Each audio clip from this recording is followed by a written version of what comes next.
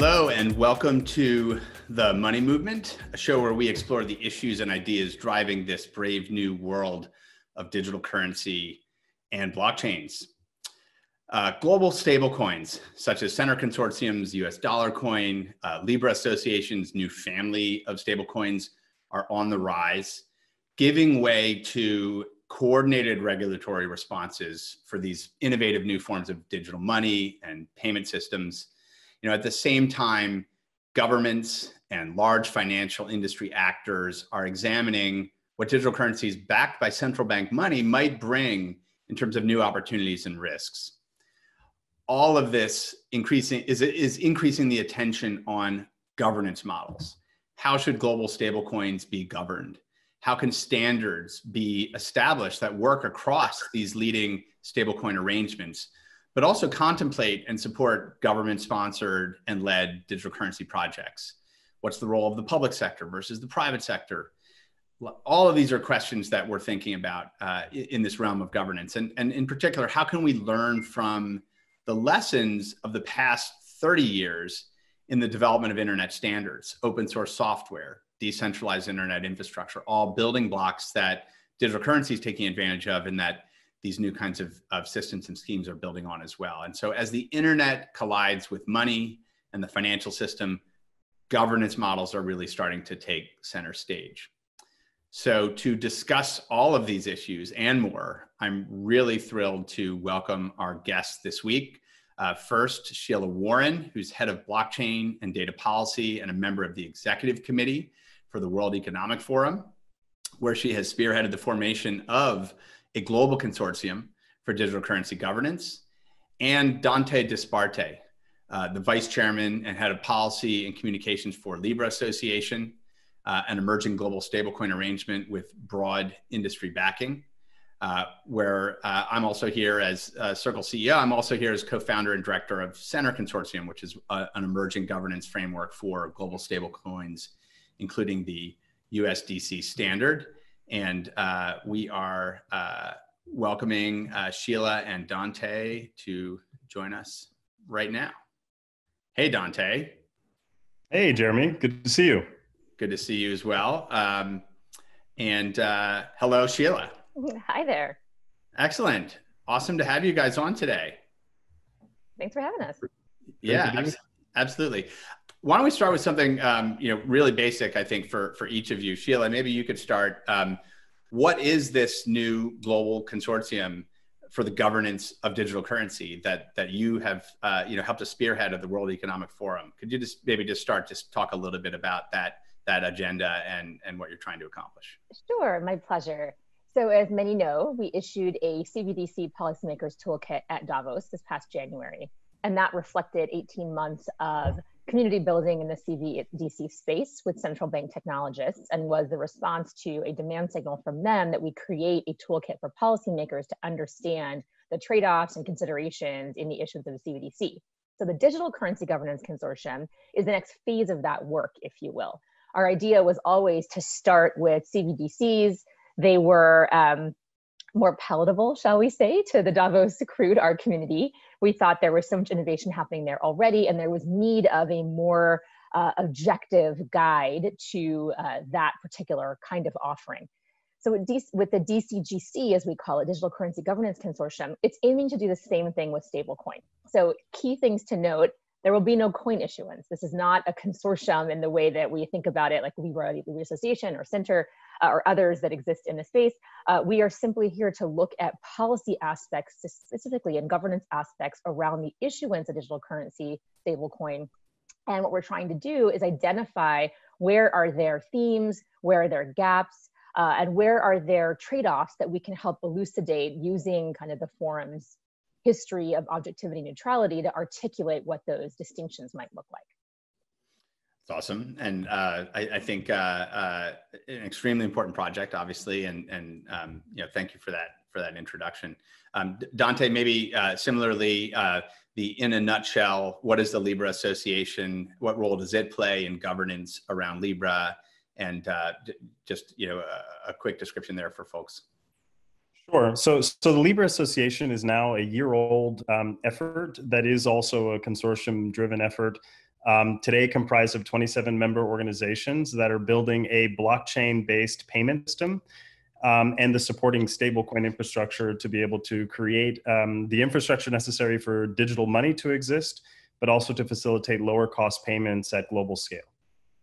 Excellent. That's awesome. And I'll just sort of briefly also share. So I, am also a director of Centre Consortium. Centre Consortium has uh, has been around for now uh, a couple of years, and uh, you know, Circle and Coinbase both were members of that, and um, it governs the U.S. dollar coin standard. And there's a you know an ecosystem of now uh, uh, a, a, few hundred companies that are involved in supporting and implementing that in different ways. Um, and uh, and I think we're also you know you know thinking about okay now as this moves into the realm of government oversight, as this moves into the realm of you know major existing financial industry stakeholders figuring out what's their role in this. This isn't just crypto startups anymore. This is moving into a very different kind of tier. I think all of us are kind of collectively thinking about what are those those global governance models and how, how are those going to scale uh, to support this opportunity i guess um, I, I think uh, governance as a concept uh, means a lot of different things to a, a lot of different people. Uh,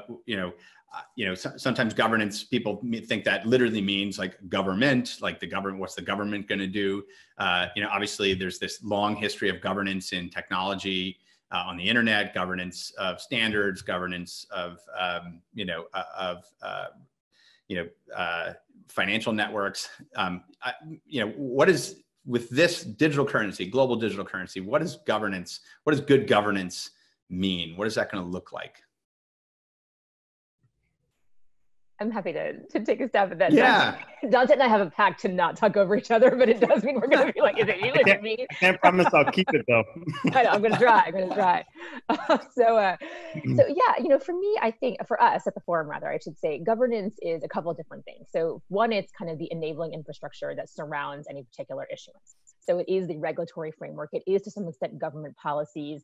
You know, it is almost a cultural uh, understanding the money, what money is, like all those kinds of things we think make up the broader governance environment, the enabling environment. But it's also the rules of a specific game. So any particular issuance is going to have, or any particular consortium or whatever it might be, is going to have its own rules its own its own operating model and all of that makes up the governance as well so we kind of think about it as almost internal governance and external governance and both those things need to operate in consonance and part of what's really interesting is I think in the early, early days, like the Bitcoin, oh, the Bitcoin only, you know, kinds of days, there was this reaction to the external governance, if you will. It was very, very reactive, right? And so the internal governance was a, a, key area of focus, but that interaction between these two different layers wasn't something that was given a tremendous amount of attention, even yeah. though it was obviously thought about, right? So what we're trying to do is draw those connections uh, mm-hmm. with the work that we're doing. But I think all of these things are, are really important. Yeah, and, and if I could just build on that, I, I think the you know all too often big technology efforts including the early early movements um, in digital currency uh, tended to be projects that would ask for um, forgiveness rather than permission and then we've learned the hard way over the last 11 years that it's a very very complicated model and it often then means that you know these innovations are are framed in opposition to existing systems and especially when you're talking about money and finance being in opposition to a regulatory regime or a compliance regime is one not great for longevity and two it's not really great in, in the public interest. We have to remember that a lot of these external factors that uh, much of the early wave of the digital currency movement was railing against or candidly might have been even designed to avoid altogether um, a lot of those regimes around the world are, are, established in response to whether it's market failures and crashes and the rest as a response of and a reflection of public interest. So I do think it's vitally important that the governance movement today, and I'm encouraged by the work that she is leading at the WEF um, to help try to build a consortium here, is that the more we could harmonize these interests, the more we will learn that there's actually not a ton of conflict between um, a stablecoin project that is trying to get regulated and and what is ultimately the type of public interest that we now see and and in this type of crisis you could see exact very big bright spot areas where um, where those interests are now starting to converge um, whether it's a government backed digital currency or private sector initiatives you're starting to see a lot of alignment here Mm-hmm.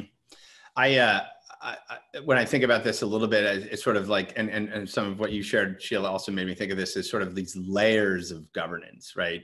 You've got like, you know, the Internet Engineering Task Force governs TCP/IP, right? Okay, well, who's that? I mean, it's this international organization. It's a bunch of IP, a bunch of academics. It's sort of out there, uh, and and then you know you have these other things like okay, you have a, a, blockchain. It's like an operating system, and it's an open source project. And well, how's that governed? Well, it's sort of informally. There's a community of people, and sort of people get kind of power to approve pull requests, and you know, uh, and then there's sort of you know the the you know the governance of who validates transactions and then there's a governance of a protocol on top of it and then there's a governance of what laws apply to the use of that protocol and then there's the governance it's just layers and layers of governance. And um, i think uh, a lot of times when people think about digital currency or global digital currency I, I think they, they want to think of it as like just you know this one vertically integrated stack that is you know that you can govern but what we're we're all we're doing is we're we're we're building on all of these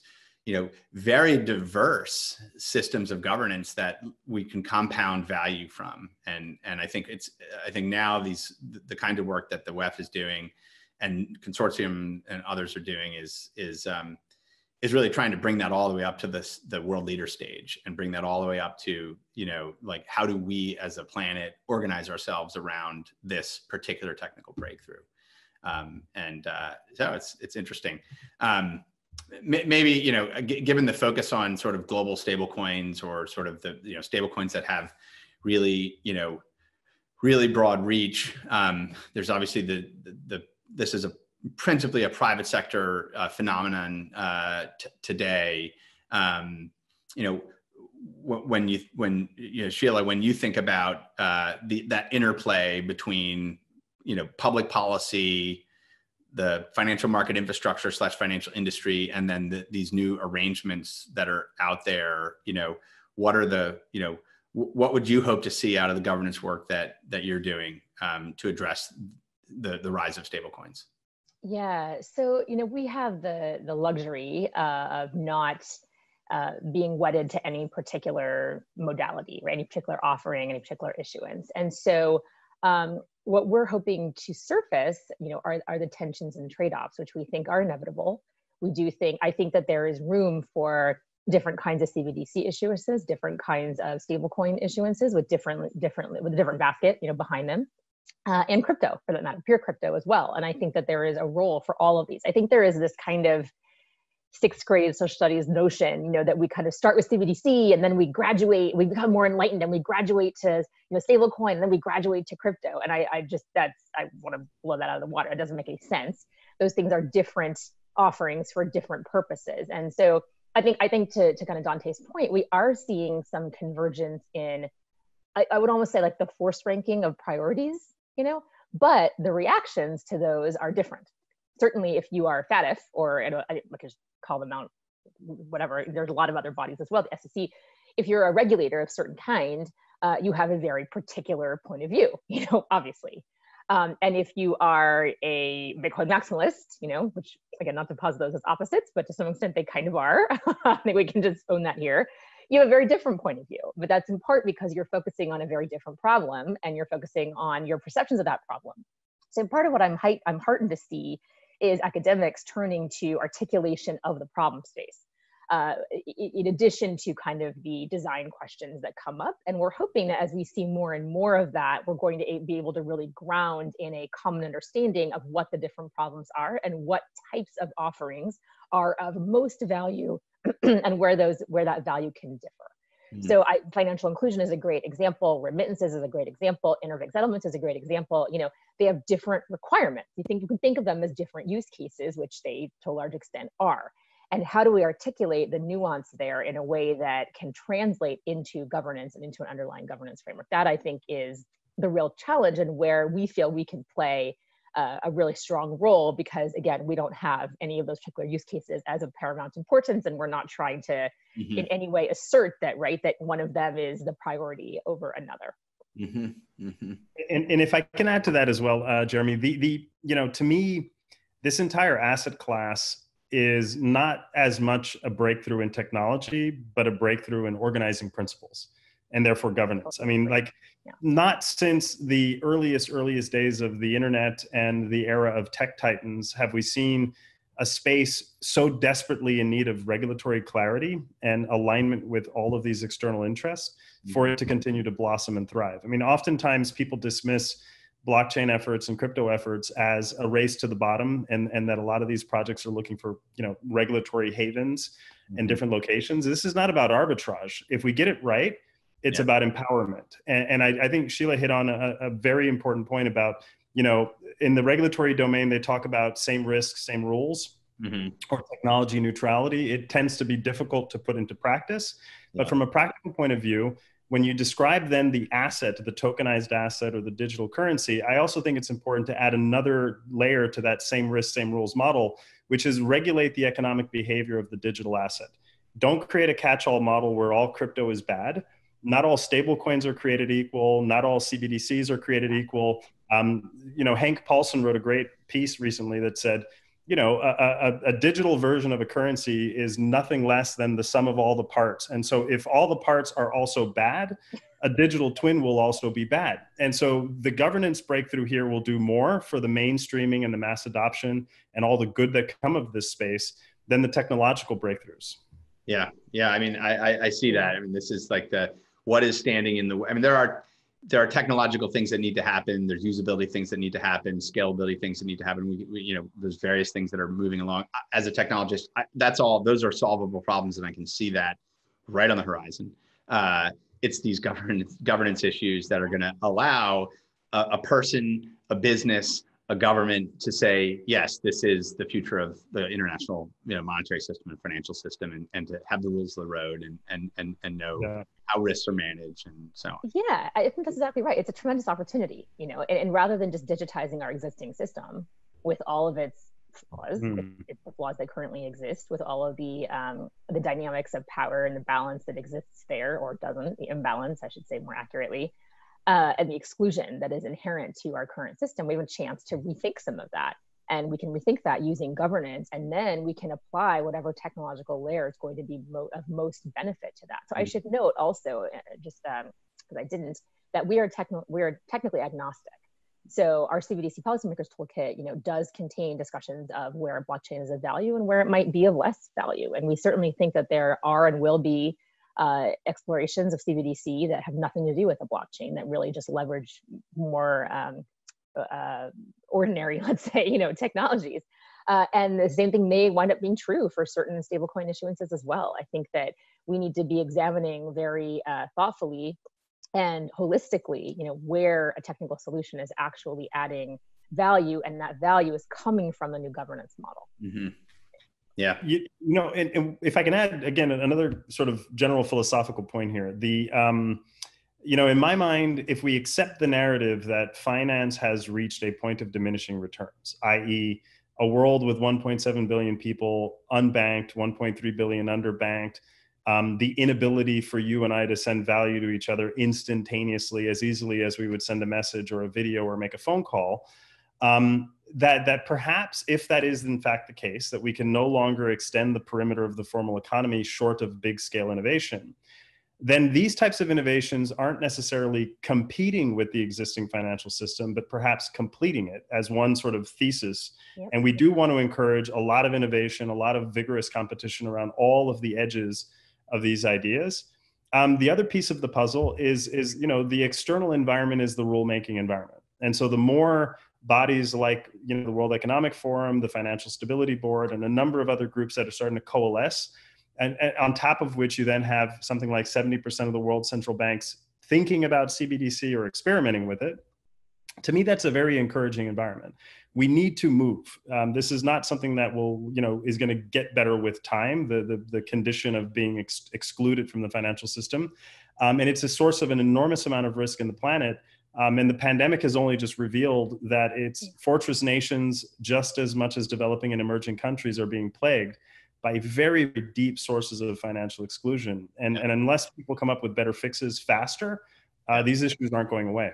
Yeah, no, I, I see that. It's, it's, uh, these are, uh, it's, it's sort of uh, kind of perfect timing on, on a lot of fronts from that. I wonder, you know, um, there's sort of these lessons that we we draw from uh, other phases of innovation in the internet. That's a common theme. There's there's obviously lessons we can draw from, you know, you know, electronic money itself, like the the birth of messaging standards like SWIFT, the the birth of card associations, like the what we think of as electronic money today, whether it's sort of fractional reserve commercial bank money or or or or central bank money, like all of these, you know, led ended up you know kind of happening at scale when broad stakeholders got together to agree upon standards uh, to make sure that those standards and how they operate work within the law uh, and and that governments be comfortable with them. And you know this is sort of as you said dante like this is the next logical stage of the of the international financial system. It can it's has the potential to do a lot more and be more inclusive and more efficient and open up you know programmability and all this super exciting stuff. But you know fundamentally the thing that gets these things to have scale is is layering layering layering and governance. I, I wonder you know what other lessons we can learn from the growth of the internet itself um, and internet standards and you know i think I remember well, uh, you know, when uh, you know the early stages of commercialization of the internet, and you know, you had regulators in every country in the world, some of whom controlled nat, nat you know national monopolies that controlled, say, the communication system of a given country. Uh, some of which had you know uh, actual monopolies, uh, you know, uh, but you know, fundamentally, like there was a set of, of governance that emerged around technical standards that was mostly driven by computer scientists, academics, innovators, and then industry sort of said, "Oh, you know what? This stuff is pretty good. It's good enough. We're going to start connecting to it." And and then, you know, the the the technology raced way ahead of what the regulatory regimes uh, ever had. Like, you know, it used to be if you wanted to like broadcast a, a radio show in Italy, like you needed permission from a regulator to to do that but i can do that. I can do that right this minute. I can broadcast a radio show in, in italy uncensored. Uh, and and so um, i wonder what lessons there are to learn um, and and whether is there a disconnect between what i'll just call like the the community led open source grassroots you know movement of the internet which is you know has built all this stuff and the expectation that governments have about no this stuff is stuff that we control. And and you know how do we reconcile that? Because um, it, it, seems like it, it, worked in the world of, of, of information knowledge communications content to be a little bit more uh, open um, and I and I wonder if it would work in the financial system as well, or or if or if the the instincts of uh, of governors uh, to to want to control this uh, are, are are are are too much at odds with that. You know, part of the challenge I think in this space is that you kind of had the the app and the technology happen at the same time you know so so it, it, it, but at the same time like we are moving to a place where you can divorce those two things but a lot of people don't really understand that yet still still don't really get you know that um i remember when i started at the forum you know in 2018 davos I started 2017 in 2018 Davos, my entire soundbite was like Bitcoin and blockchain, not the same thing. Bitcoin and blockchain, not the same thing, like over and over and over, parroting it, right? Because no one, people didn't understand that. Yeah. And so eh, we've, we've moved past that, but there's still this, there's still a general lack of understanding of the of the distinction between the technical element and the financial systems element. And this is recreating something that has a tremendous amount of power and inertia behind it. Right? You're going all the way back to kind of Bretton Woods, and you think about creating a new financial order, a new financial system.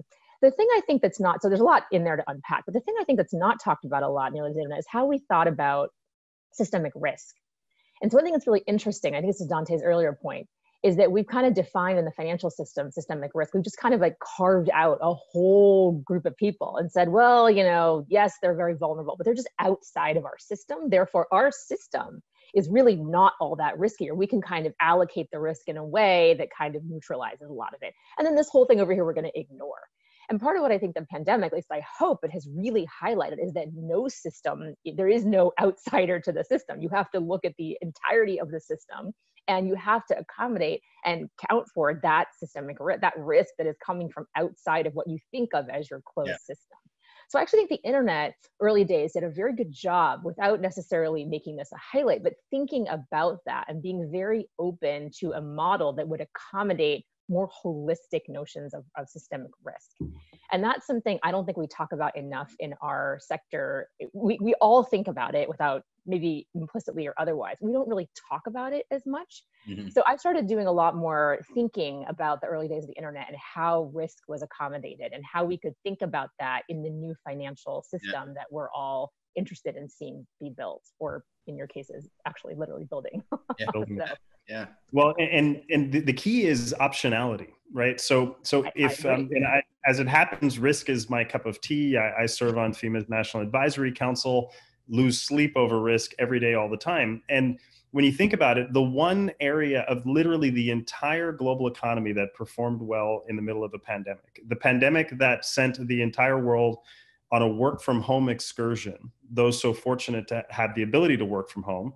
Um, and, and it withstood the, the, the load, right? It withstood the load of, of entire economies being permanently um, uh, working from home and that kind of bandwidth capability and that um, resilience inherent resilience in the design our financial systems don't enjoy that right so when when the federal government had to respond to this crisis with in all about 5.5 trillion dollars of, of uh, intervention to save the economy effectively an example of privatizing gain and socializing losses, the very type of pattern we saw in 2008.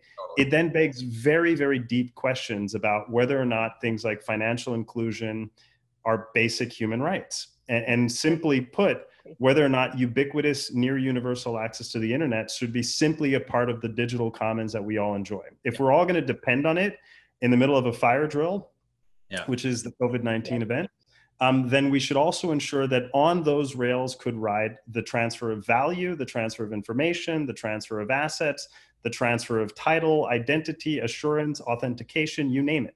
Today, none of those things are possible at scale. And it's an indictment of us as a planet and as a modern economy. I'm speaking now of the United States, that in order to exercise your civic duty and go vote, you have to go violate uh, uh, um, you know, social distancing requirements and wait in a physical line to exercise your civic duty. That should be something that motivates all of us, whether it's blockchain or some other standard, to make sure that the, the very core principles of functioning in a modern system and in a modern economy can leverage technology as a difference maker. And for all the areas that broke very rapidly with the onset of the pandemic, value, identity, voting, these types of basic civic engagements um, could use a little bit of digitization.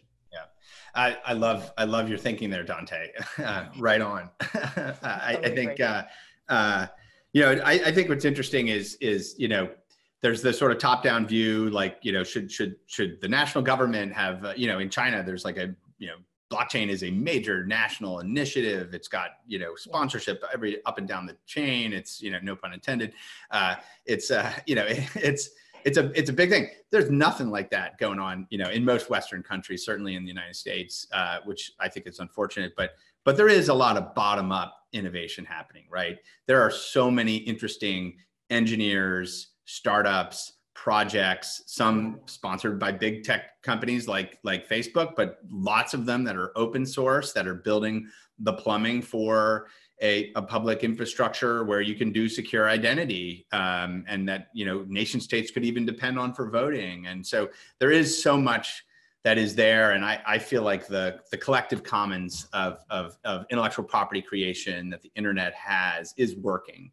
And it may not work on the speed that, that we want. And I think what, what we're seeing out of China a little bit is, you know, leveraging that IP commons and all the energy around it with a big boost of of industrial policy as well. And so I, I, think that that could be you know you know part of the answer. Well and, and i'm sure all of us are sorry sheila um th- that's the only time and i won't do it again i promise. You know i'm sure we're all tracking, right? We're all tracking with great interest you know the the, the way chris giancarlo um, you know likens this as a digital space race sort of an equivalent.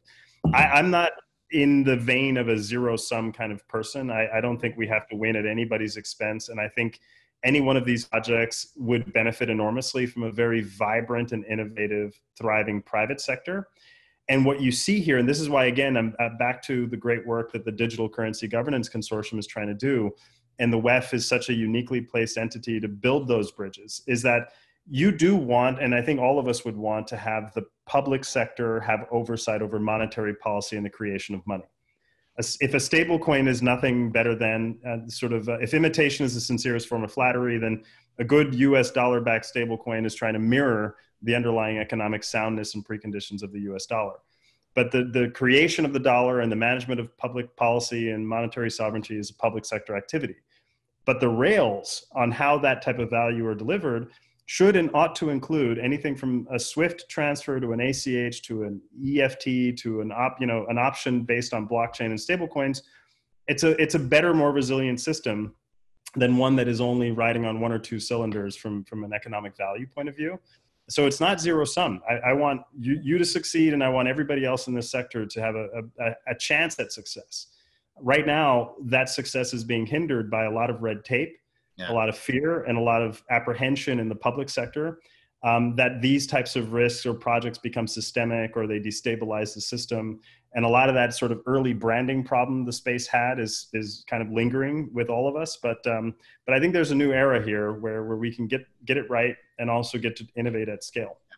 This and yeah, this so, gets to the public-private dimension here, Sheila. I know yeah, that's fundamental to the, the WEF platform. Yeah, maybe you could talk a little bit about. Yeah, absolutely you know everything we do is multi-stakeholder in its conception. So it's about bringing together public and private sector actors and the third sector as well to really think about civil society actors academics and others who are really focused uh, possibly more narrowly but experts in particular needs articulated by certain communities. I think another thing we try to do is think very hard about geographic diversity. So a lot of the conversation uh, needs to and i know that both of you are good about this but many are not, uh, think about where the innovation is really happening. And that's in part where the innovation is able to happen. There is less incentive in really established economies. There's more uh, fear. There's, there's less, um, there's more incumbent power, right? So a lot of the innovation is happening in uh, frontier economies or smaller economies, and we're learning a lot from what's happening there. So when I first started at the, at the forum, you know, it was really, I, you know, I had to really make the case that, that we should be focusing not just on the sort of typical halls of power, but looking at, mm-hmm. you know, a lot of the island nations, the ECCB, looking at what's ha- what Cambodia was doing, looking at some of the work that's happening in Africa, like all over the continent, by the way, yeah. right? Not just in Kenya, not just in what, what they were doing, kind of coming down in a draconian sure. manner, or Ghana or Nigeria, but really looking across some of these economies to see what are the opportunities that we may be in, in a, with a Western mindset blind to and bringing those communities together. So our CBDC project actually started off with a goal, a, the only goal was community building. It was to say, we know which banks are talking to each other and which aren't. It's a huge miss. And we have the convening power and ability to say, you need to listen to these guys over here or these people over here uh, and do some education about what is actually possible with this technology. Uh, and in that case, it was it was really starting off with a focus on blockchain, but then moving into an examination more of CBDC offerings. Now, to the point about the kind of one ring to rule them all, you know, we are fervently opposed to that that view. I don't think it makes any sense.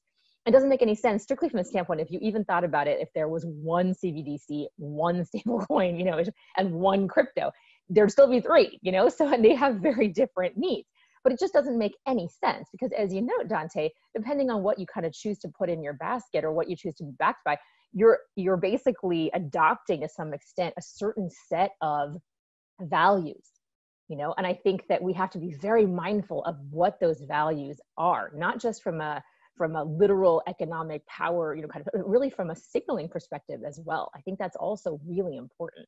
And so while I, I agree with you you know that it's it's really important to think about uh, stability particularly in the environment that we're in now now more than maybe ever as we're getting economic fissures and, and challenges that we haven't really seen before um, well at least you know in our lifetime uh, I think that it's really important to think about that as well, and to think about, you know, one thing we're interested in doing is thinking about almost like ethnographic type studies of money, right? Mm-hmm. And how the cultural values around money translate into policy, and how making that more visible can mm-hmm. enable us to kind of almost cherry pick some of those values and norms and put them into other issuances without having to adopt an unstable currency.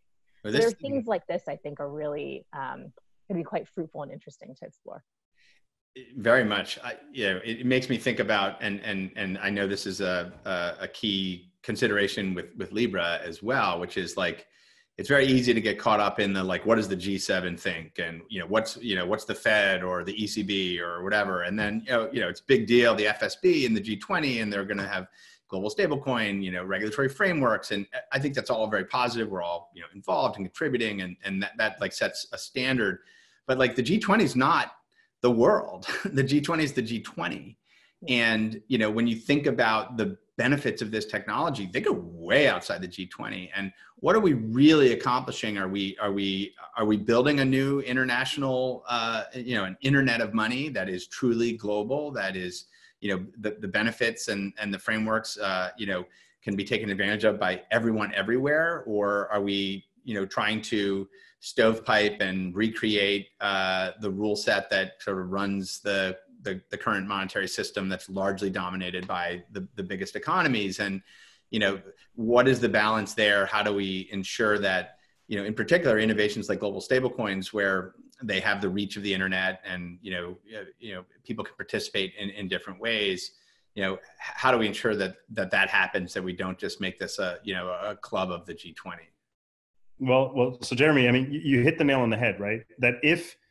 to me, candidly, I think a lot of these innovations won't be as meaningful as they could be if all we do is replicate the existing system right? And and if you were born and, and candidly the existing system has more to do with your the zip code or the country you were born in mm-hmm. than anything else. And even domestically uh, a payment across two banking platforms that are not conversant introduces death by a thousand cut fees and and we're laboring under slow analog painful examples. I mean, ask the millions of Americans that were waiting for an analog check to arrive. Yeah. Um, you know, who were already living check to check. Uh, forty uh, percent of the country can't survive a four or five hundred dollar setback. So, so I think we we would fail in the effort if the effort didn't absolutely extend, or at least from a technological point of view, remove the cost and the barriers of extending the, the perimeter of the formal economy to the billions who are on the margin of it um, otherwise, it's not real long term value added. I mean, we have to figure out how to lay down infrastructure, not unlike the internet. Um, that pre internet, it would have been very hard to provide for connectivity that was decoupled from fixed line infrastructure or from physical infrastructure, all back to the country of birth and the zip code. Um, here, the same challenges hold true for financial exclusion. Mm-hmm. Um, and if we want to functionally extend the perimeter, we have to make a, a mobile device that's internet ready a regulated payment endpoint. Mm-hmm. And I'm I'm absolutely like Sheila and, and, others completely technology agnostic as to how this is done. But what I'm uncompromising about is that it is done, mm-hmm. uh, because the stakes are far too high, and there are far too many people uh, on the margins for no good reason other than the, the thought of one brown person or or a person in sub-Saharan Africa makes one errant payment, the entire continent must pay. Um, so we could do better than that as a planet, and and I agree with you. We simply can't you know lobby across the Atlantic to get it right at one level. We have to f- figure out how to anchor this uh, in a multi-stakeholder environment. It's uh, you know, getting uh, I think getting policymakers to think bigger. Uh, you know, uh, think bigger about what this new like a, a, global digital economy like really think bigger about what what that can be um, which I know both of you are doing.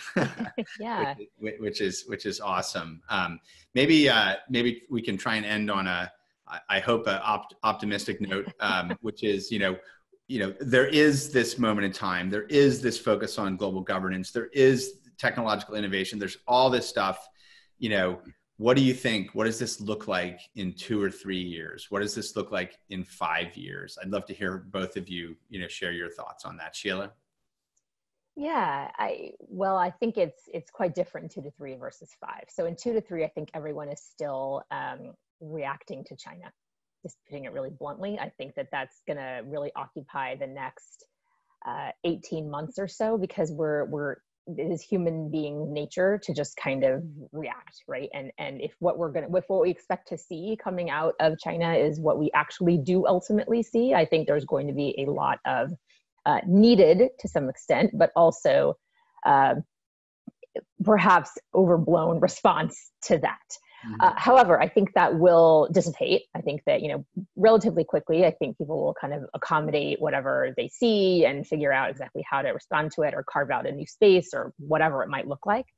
Uh, and then we'll shift into something that I really hope is truly more global and inclusive in nature. So at the five-year mark, to kind of focus more there, I think that we I think we are going to see a lot more access by people who are not currently included in the formal economy uh, into the formal economy with on ramps and off ramps to tr- more traditional systems. I don't think those are going to go away.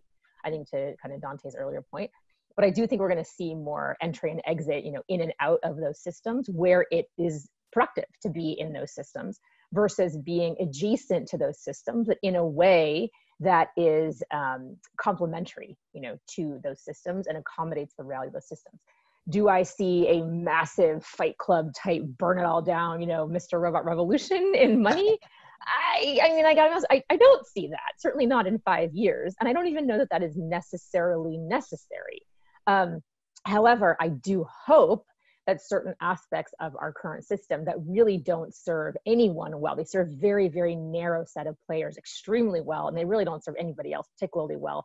I hope that we will be able to loosen uh, the stranglehold that certain actors have on our economic, uh, monetary, and financial systems, uh, and more equitably allocate the risk and reward as opposed to just reserving all the reward for a handful and you know blowing the risk uh, down to places where we like to pretend that we can we can treat it as outside of our system or invisible to us. That's my hope and i, I feel very optimistic about that in a five year time frame awesome Awesome. Well, look, for my part, for all for all the doom and gloom and the talk of risk and resilience, I'm actually an eternal optimist, and and I think between zero and three years from today, um, I think one will have made it clear that the the the stable coin and the digital currency movement had less to do with reinventing money and more to do with reinventing how people interact with the exchange of value. Number one, and, and I think you'll start to see real big movement, um, for example, across key remittance corridors around the world that are stranded at the 7% global average, if not higher. You'll start to see very vigorous competition at the edge um, of trying to enable faster cross border peer to peer payments. Um, and, and that to the extent that can happen in a three to five year run, I think it's a very, very meaningful contribution. Um, and then in the in the three to five and then five onwards, um, I, do think you'll start to see a lot of ubiquity uh, of this. I mean, there, is a movement afoot that is uh, that one, it's a generation different than our own, I presume, born with a instant gratification, born with trust in technology, that is going to be much more willing to accept that value can also exist in a non-physical form and transferred in a non-physical form for everything as simple as paying a micropayment for liking a medium article or as complex as making a commercial transaction. I think the, the movement of money and the movement of value is what, what is being reinvented around these concepts that we've discussed today and much less so the, the reinvention of money itself. Um, and so I'm, I'm very optimistic that a lot of good will come uh, in, in the future. The money movement has legs yeah, exactly. yeah, this has been awesome, you guys. I really, really enjoy uh, enjoyed the conversation. A lot of you know, just you know, far-reaching stuff, and obviously looking forward to uh, you know c- continuing to to work with you guys and see see a lot of this stuff through over the next couple of years. So thank here, you. Same, yeah. Thank you, Jeremy. Thank, thank you, for, Thanks for joining yeah, today. Thanks. Thanks.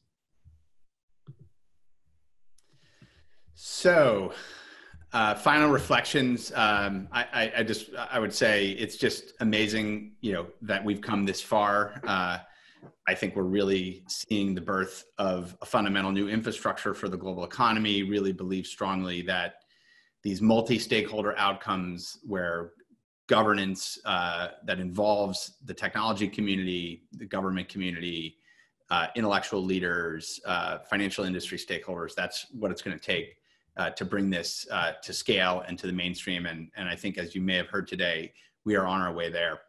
Um, that leads us a little bit um, into uh, next week's episode. Uh, you know, digital dollars and global stable coins, you know, crypto and blockchain in general are really coming into focus more and more with policymakers globally. Uh, it's an, a much more intense focus at the supranational level and at the national level, as we talked about. You know, in China, you know, blockchain is a national strategic priority. Uh, and in DC, policymakers are starting to engage. Uh, so we're going to be exploring digital currency in DC next week, and we'll have several, I think, excellent guests who are playing key roles in interfacing with the policymaking community and the regulatory community in DC, and, and hear from them uh, from the front lines of, of digital currency policy in DC. So, uh, looking forward to that uh, episode next week. And until next time, stay well, stay safe, and stay informed. Thank you.